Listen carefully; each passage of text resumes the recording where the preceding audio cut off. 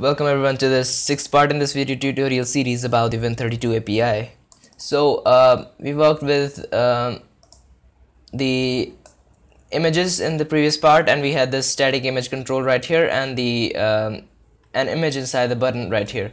Um, so in this part we're going to work with uh, the message box dialog.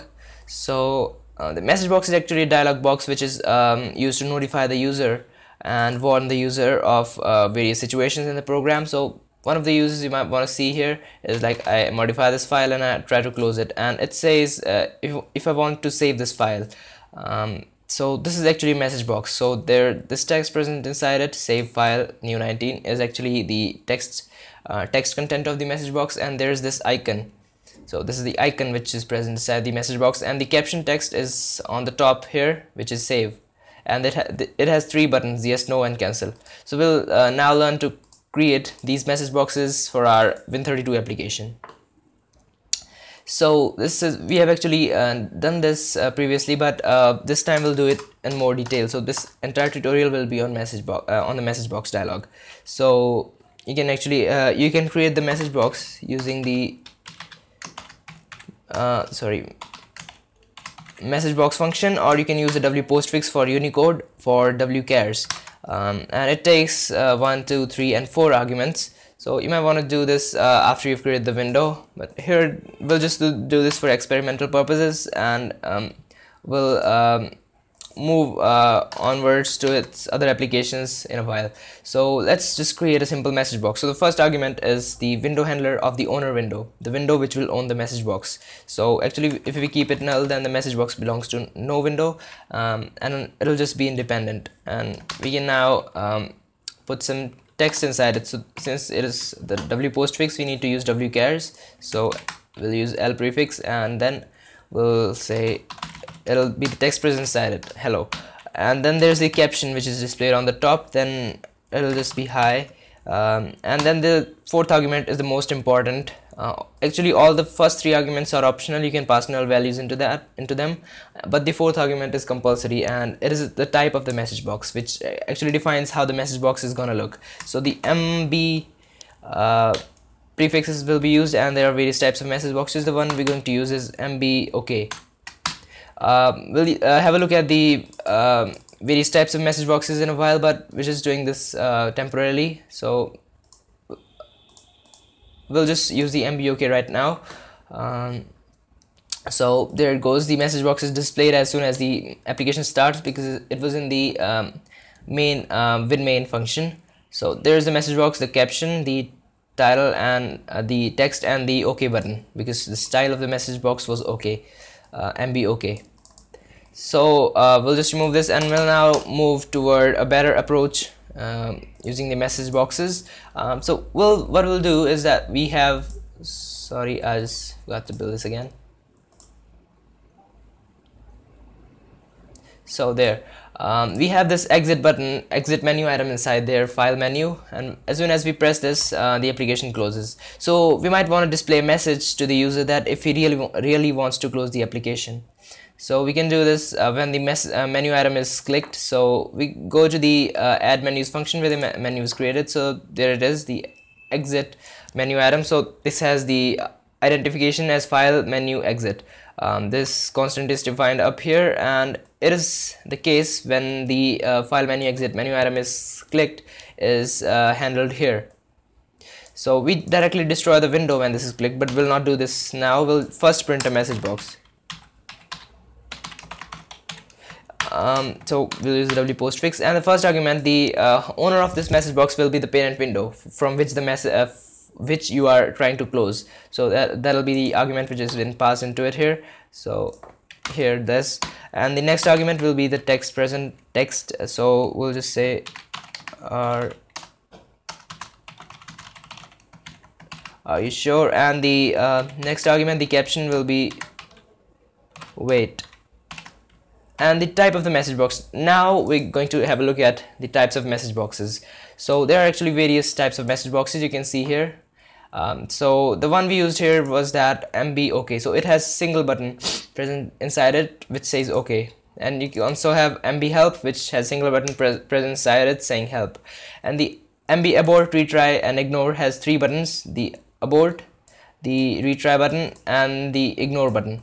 So three buttons. So similarly the cancel, uh, try again and continue. So this says cancel, try, continue has three buttons, cancel, retry and uh, cancel, try again and continue. And similarly the OK and cancel, retry and cancel, yes, no, yes no and cancel so you can use uh, any of these message boxes you want so the one we're going to use here is yes or no because we are asking the user if he wants to really exit his application so we'll use the yes and no text box. So uh, yes and no message box. So mb yes no. Which will display message box which will ask the user if he really wants to quit the application. So we'll, we'll run this now.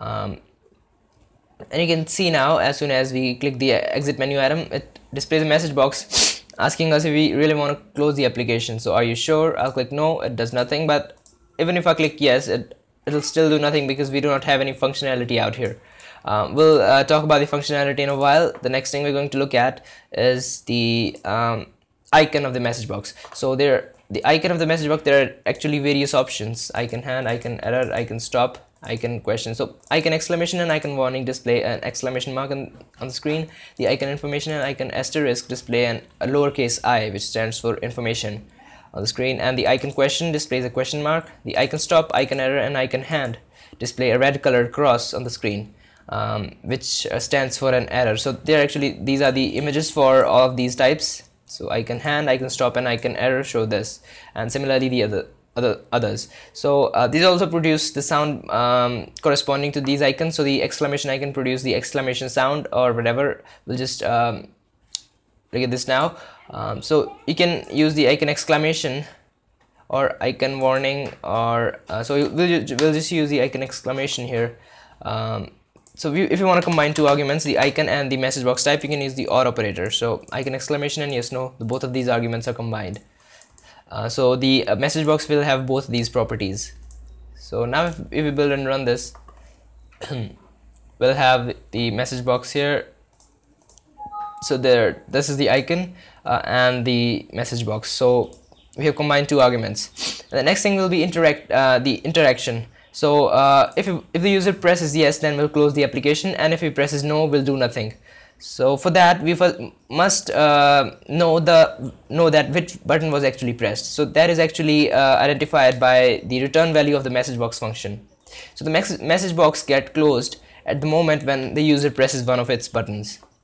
So and the message box function um, returns the value after the button has been pressed so the value returned actually uh, corresponds to a button which was pressed. So if the first thing if the function returns zero that means the function failed. The function was not able to execute successfully. So if if this function returns zero then that means it failed and you can uh, handle that however however you, however you want. But the thing we're going to discuss here is the uh, getting other values for the buttons. So there there um, the return type is integer. It, it is obvious. And so we'll declare int val um, um, an integer in the starting of the function so that we can use it here. So we'll just assign val the value which was returned by the message box function. And now we can compare the value of val against the integer values which correspond to the buttons. So if the abort button was pressed um, the integer value is actually 3 but you do also have constants defined by the API so you can um, instead of using the integer literals you can directly use the these constants this these things. Um, so id abort if the abort button was pressed then id cancel continue ignore no okay retry try again and yes. Um, so we can actually check all of these buttons. So we want to check if the yes button was pressed so we'll use the id yes. So here it is and now we'll use the if block to check the if the val was e uh, val is equal to id yes. That means the yes button was pressed when this message box was displayed so if yes was pressed then we can we have to quit the application. So now we'll use this code here. Destroy window. So we'll destroy this window when it the um, IDS uh, the yes button was pressed. Um, in, you can also handle the else if uh, using the um, when id no was pressed well equal to id no. But since we do not have any task to perform here I'll just leave this empty. So we can do stuff if you want to do anything here. But I'll do nothing because this is not really relevant. And now I can build, the, build on the application to show you how this is working. So now I'll click exit. And if I click no then it doesn't do anything. But if I click yes then it closes the application. So this is working. And we'll just remove this from here because this is not relevant. We don't have any code inside. And the next thing we want to do is we want to create another message box for the stuff I'll just show you here. Um, and you can see the generate button generates the data according to the information entered here. Um, so what we want to do is if in case the user has left this empty and presses the generate button we want to present the user with various options that if he wants uh, that this is an error and if the user now wants to exit the application uh, if he wants to abort the application or if he wants to retry entering the data or if he wants to process the empty data anyway. So we'll just uh, uh do that. So we'll first go to the generate button. So it is here. And the constant for the generate button is the identification the identification is generate button. So we have defined this um, here and we are handling this case right here. And we are processing all the information here. Um, we are reading the um, contents of the uh, labels uh, of the uh, sorry um, of the text boxes edit boxes uh, inside these name uh, age name and age string. So we'll uh, check after reading these strings we'll check if the name and age are empty. So we'll just um, so we'll use this strcmp function to compare two strings. Um, there we included the std uh, lib.h for this function. We used some function for the from the stdlib in the previous part. And this function actually uh, the uh, strcmp is also a part of the stdlib so it takes two arguments. It uh, um, both are this both are of the type strings. And it compares both of those arguments. And if those uh, strings are equal it returns zero. So we'll check if name equals an empty string.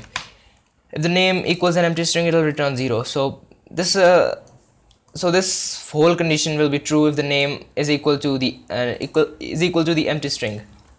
And um, we'll also ch uh, check this for the age if age equals empty string. There it goes.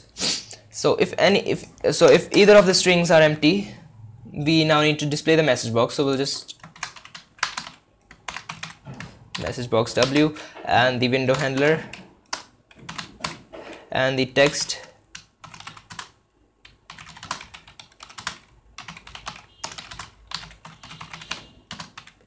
And the caption uh, remember if you keep the caption um, argument null then the default caption is uh, error. So it'll say error in the caption area.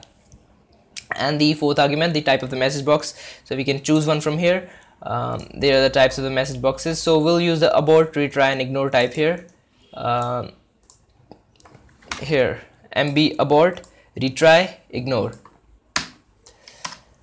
So this is the one we're going, to use this here. Um, and we'll store the return value inside the same val variable because we defined it in the scope of this function. So we can also use it for this so you can actually do, do this that you can define a single variable uh, for the use with all the message boxes. So we have the uh, val variable here and now we can uh, we'll use a switch statement this time to compare because we need to compare it to three different cases. So the first case will be id um, abort. If the abort button was pressed we'll simply close the application. So we'll uh,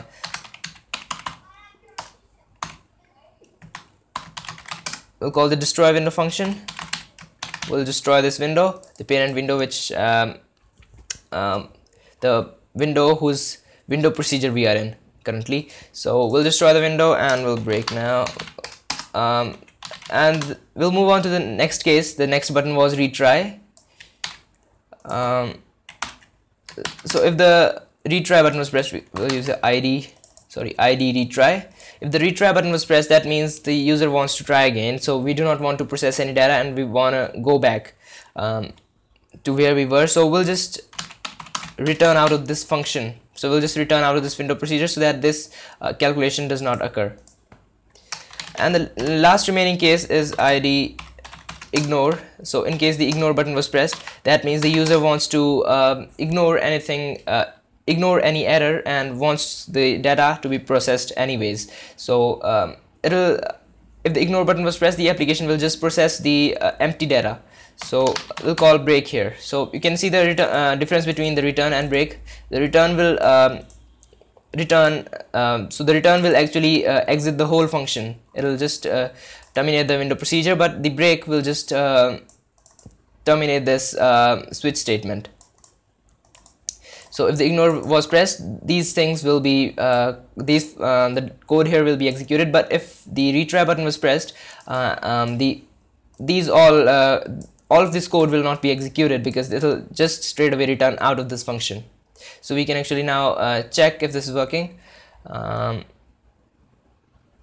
and we do not have any errors fortunately and now we'll try. So if you fill the strings if you fill the um, edit boxes it generates the data successfully. But in case if the data is incomplete then then we click the generate button. It uh, displays an error message saying you did not enter anything. And uh, if I place, uh, press abort it closes the application. And in the next case we'll try uh, oh sorry. Uh, in the next case we'll try retry so if, if I press the retry button it uh, does not generate anything and gives me another chance to try and enter the data again. And if I press the ignore button it'll ignore the error and it'll generate the data anyway. With with the empty data which I entered here with the empty strings it'll generate the data anyway if I ignore the error. Uh, and uh, to make this message box look more fancy you can um, combine this uh, um, button style with mb icon error. So icon error will display a black uh, a red colored cross and it'll pr uh, produce an error sound. So there it is. Uh, you do not enter anything and there's this fancy icon here. Uh, so I'll press abort and it'll close it. So this is all for this uh, video tutorial and um, stay tuned for the next part and I'll see you next time